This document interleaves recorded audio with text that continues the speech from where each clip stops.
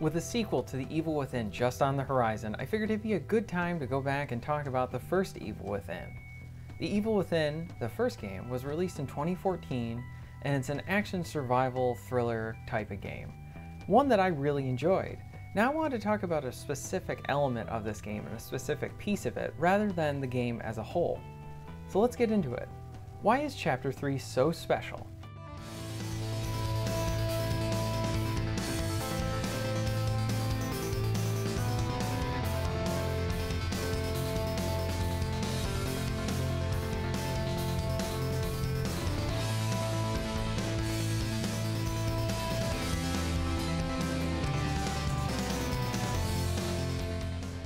Let's start out with the obvious, the atmosphere. I mean, just look at this environment.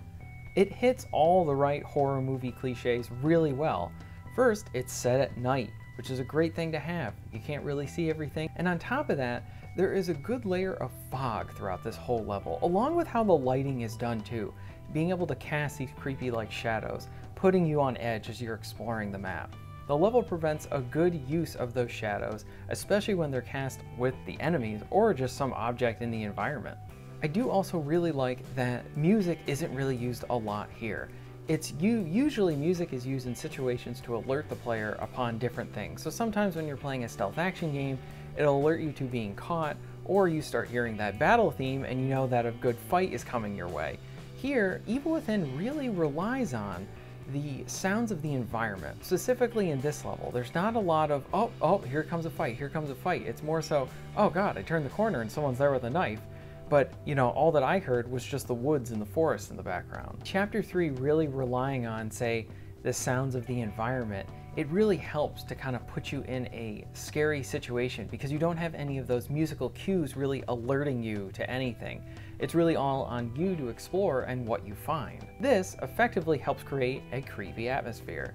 And the wind blowing, especially at night, in a forest with this fog is a nice touch too. Added to this atmosphere is the screaming and the sound of a potential enemy that is caged up. What I really like about this in Chapter 3 especially is because you're in this enclosed area. There is a bunch of stuff that you can go and explore and do within this area, but within this area there is an enemy, a potential enemy. Because when you're playing through it the first time, you don't know if you're going to fight this individual, but you continuously hear him scream and start bashing about. So every time I would hear him scream, I would immediately go down and crouch because I don't know if walking or any of those types of sounds would potentially instigate him. And when you're in this area for the first time, you don't have many materials. You're really relying on what you have, so you don't want to fight him right away. This I really liked because effectively this part, by having this guy making those sounds, having it be creepy, it just, it creates this constant, persistent threat that could come after you. You don't know.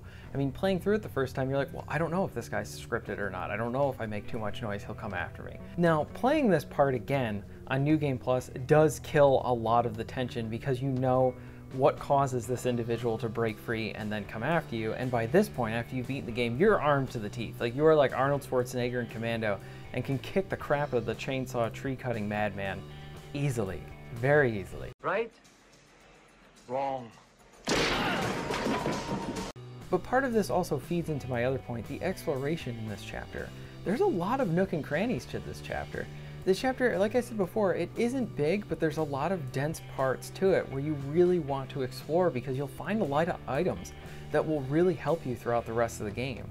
On your first playthrough exploring this level, it's just essential. I mean, you get some really good weapons and items, and it really rewards you for looking everywhere for this stuff. Now, you can totally beat this mission in say like 20 minutes, but you're really missing a lot of what this level has to offer. This took me probably about over an hour the first time I played it. I took it slow, and I tried to find everything I could. Now, Chapter 3 does contrast with the first two chapters of the game, whereas the first two chapters are very linear affairs, and I really like the change of pace with Chapter 3. It allowed me to take a break, be able to take a breather with the game, and be able to enjoy the environments instead of being scripted event, scripted event, scripted event. And what I like too is Chapter 3 was able to create this nice tension that consistently played throughout the level and granted, there weren't really any set pieces except for the boss fight kind of at the end of the chapter, but for the most part it really relied on you exploring and trying to figure out the environment. I really like that, and that was something that really jumped out at me the first time I played this. Now, I'm not saying that this chapter doesn't include all the elements from the game that I enjoyed, because some of the boss fights later in the game are thoroughly engaging and intense. But chapter 3 is kind of like this. You know when you play a video game and you don't know if the game is going to grab you, and you're in this uneasy spot with the game, and then a plot point happens or a gameplay element happens or something happens that just hooks you? Well, chapter 3 did that for me.